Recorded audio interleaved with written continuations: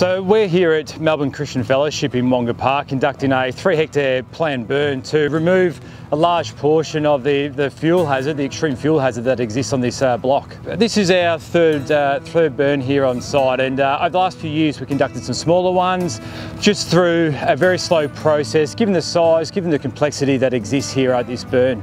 It was really impressive to see. You know, one of the key functions that they play is helping keep communities safe through burn-offs and so it was a really great opportunity for me to see that firsthand.